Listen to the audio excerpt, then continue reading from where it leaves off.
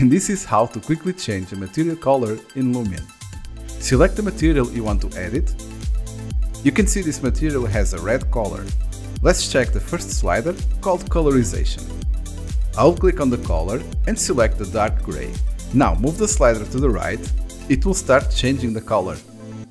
You can also select the tab called RAL and choose from a selection of color presets.